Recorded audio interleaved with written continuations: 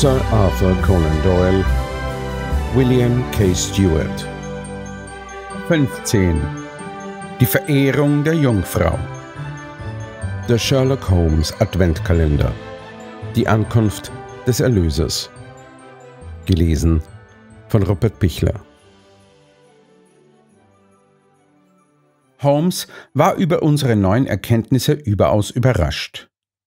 Er wippte ein wenig mit dem gesamten Körper hin und her, wobei er die Information offenbar erst so richtig verarbeitete. Das bedeutet also, fasste er dann zusammen, Simon Taylor kann zu jenem Zweck in die Abtei, um hier nach dem Verbleib seiner verschwundenen Schwester zu forschen. Eine Tatsache von höchstem Interesse. Und immerhin endlich ein triftiger Grund, um in ein Kloster einzutreten fügte ich hinzu. Er war zu Ermittlungen hier, setzte Holmes fort. Er nutzte seine neue Identität als Bruder Emanuel, um das Vertrauen der Mönche und Zugang zu allen Bereichen des Gebäudes zu erlangen. Er konnte sich sodann bewegen wie ein Fisch im Wasser. Doch er fand Mariah natürlich nicht. Bruder Francis hatte das Porträt wohl erkannt, wäre ihm Simons Schwester im Zuge der Seelsorge oder karitativer Tätigkeiten untergekommen. Aber das hat er ja schon verneint, als wir es ihm zeigten. Kann es Zufall sein, warf ich einen meiner Gedanken ein, dass in dieser Umgebung binnen kurzer Zeit zwei junge Frauen verschwinden, zuerst Mariah Taylor, bald darauf die Küchenhilfe der Abtei. Holmes schüttelte den Kopf. Es gibt keine Zufälle, stellte er entschieden fest. Und doch sehe ich den Zusammenhang zwischen den beiden Mädchen nicht. Oder zumindest noch nicht. Und noch eine Frage tut sich für mich auf, ergänzte ich. Wenn Bruder Emanuel seine Schwester hier entgegen den Angaben des Messerschleifers nicht finden konnte, warum ist er trotzdem geblieben? Und was hat er stattdessen gefunden, das zu seiner Ermordung führte? Das ist doch alles sehr verwirrend.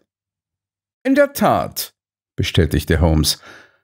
Doch es muss eine Verbindung geben. Nur weil Mariah Taylor nicht hier war, als ihr Bruder ankam, heißt das noch nicht, dass nicht einer der Mönche dennoch etwas über ihren Verbleib wissen oder etwas mit ihrem weiteren Schicksal zu tun haben könnte. Wissen Sie was, Watson? Wir behalten unsere neuen Erkenntnisse vorerst für uns. Kein Wort darüber, zu niemanden.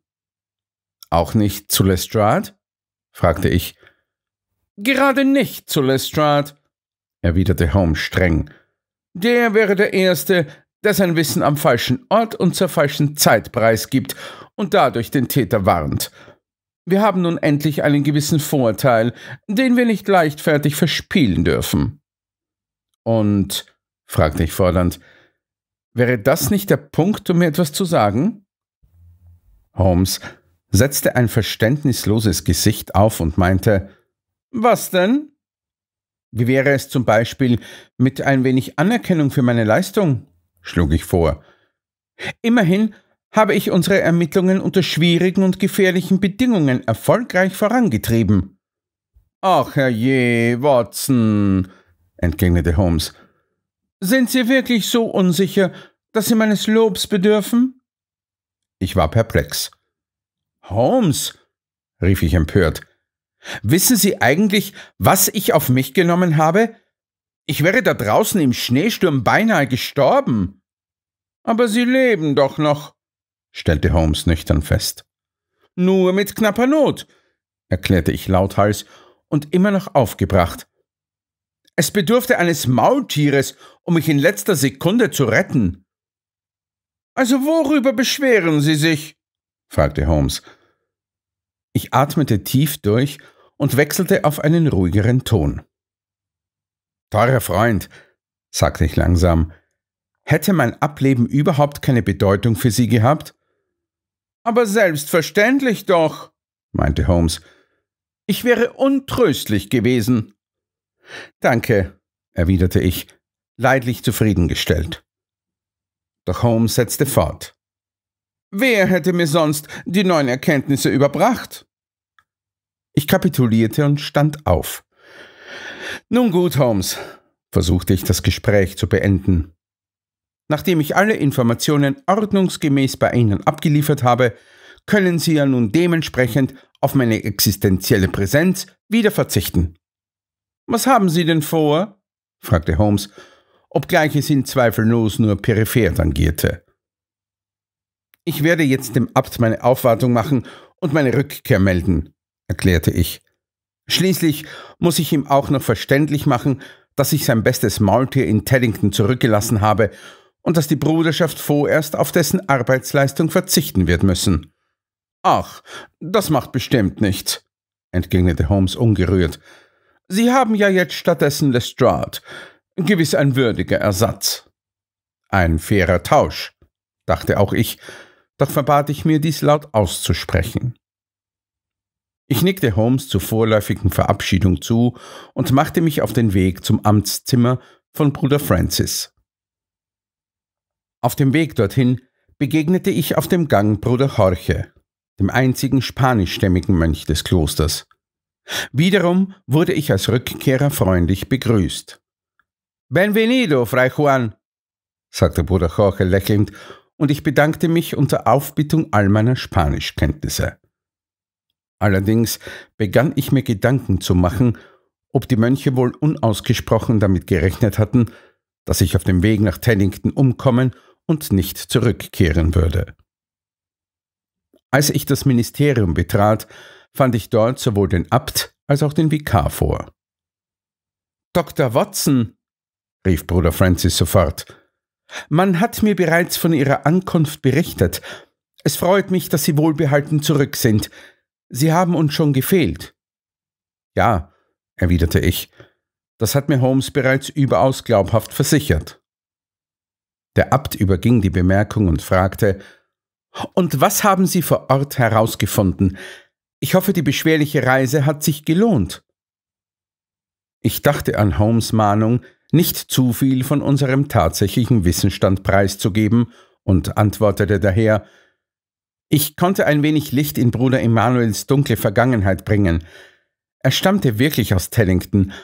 Offenbar hatte er mehrere private familiäre Schicksalsschläge, Verluste erlitten. Vermutlich trat er deshalb in den Orden ein. So zumindest die Informationen, die mir Reverend Blake vermitteln konnte. Ah, der Reverend, sagte Bruder Francis, während ein Lächeln über sein Gesicht huschte. Den habe ich leider lange nicht mehr gesehen. Schade, denn er ist ein guter Mann und ein vortrefflicher Gesprächspartner. Er ist anglikanischer Priester, warf der Vikar mürrisch ein. Wir sollten uns lieber nicht mit den führenden Vertretern des falschen, spalterischen, protestantischen Glaubens abgeben, der in England überhaupt nur aus Gründen der systematischen Unzucht und des scheinbar legalisierten Ehebruchs im Königshaus existiert. Aber, aber, mahnte der Abt seinen Stellvertreter zur Zurückhaltung. Denkst du nicht, Bruder, dass es langsam an der Zeit ist, die Religionskriege ruhen zu lassen? Es mag Auffassungsunterschiede geben, doch letztlich verbindet uns der Glaube an Gott und dessen Sohn Jesus Christus. Und was ist mit der Jungfrau Maria? erwiderte Bruder Peter. Die anglikanischen Abweichler widersetzen sich dem Konzil von Ephesus. Sie missachten auf frevelhafte Weise die Lehren der unbefleckten Empfängnis und der leiblichen Aufnahme Marias in den Himmel. Sie sind barbarische Ketzer, auf die nichts anderes als die verdiente Verdammnis wartet kein Vergeben, keine Erlösung. Ich räusperte mich, und der Vikar ergänzte Verzeihung, Anwesende natürlich ausgenommen. Deine Begeisterung für die Marienverehrung in Ehren, meinte der Abt ruhig. Doch wollen wir unsere auf Abwege geratenen Brüder und Schwestern nicht verdammen. Wir wollen sie auf den rechten Weg zurückführen. Und das wird nur auf dem Wege des Respekts, des Gesprächs und der Überzeugung möglich sein. So sehr ich mich für christliche Theologie interessiere, warf ich ein, und obgleich ich es überaus begrüße, dass man uns anglikanischen Ketzern nicht mehr den Scheiterhaufen zugedacht hat, so mögen Sie mich nun entschuldigen, meine Herren, wir haben immer noch zwei Mordfälle aufzuklären.